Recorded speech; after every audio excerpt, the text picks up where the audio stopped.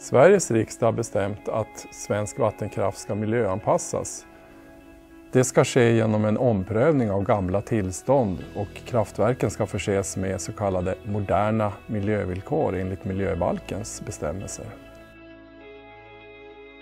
Målet är att främja biologisk mångfald i reglerade vattendrag samtidigt som Sverige uppfyller EUs krav genom vattendirektivet.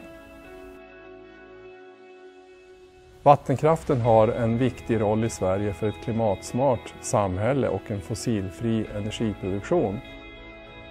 Miljöåtgärder i vattenkraften innebär många gånger en negativ påverkan på vattenkraftproduktion.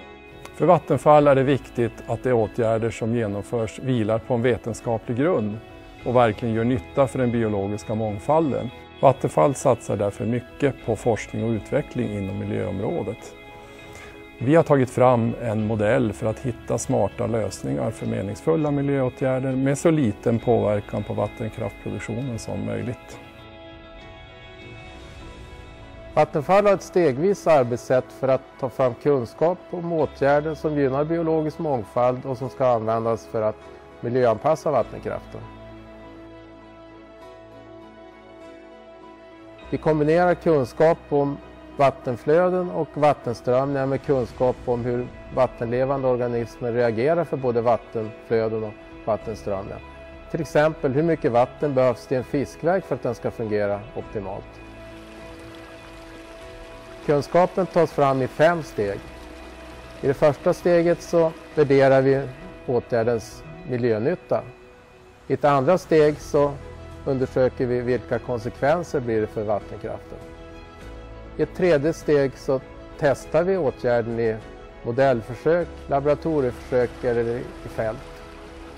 Och I ett fjärde steg så gör vi en avvägning mellan miljönytta och konsekvenserna för vattenkraften. I ett femte steg så bedömer vi om åtgärden har tillräcklig miljönytta och minimala konsekvenser för vattenkraften. Och då kan åtgärden genomföras. I vattenfall är det en självklarhet att använda vetenskaplig metodik för att ta fram åtgärder som kan användas för att miljöanpassa vattenkraften. I Älvkarleby har Vattenfall en testanläggning där vi just nu provar olika gallerlösningar för nedströmspassage av ål och lax. Vi undersöker vilken spaltbredd på galler som är optimal för att minska produktionsförluster och driftproblem i form av ansamling av löv och skräp i gallren. Samtidigt som gallren hindrar fisken att passera genom kraftverkets turbiner ska också gallren styra fisken till en säker förbipassage.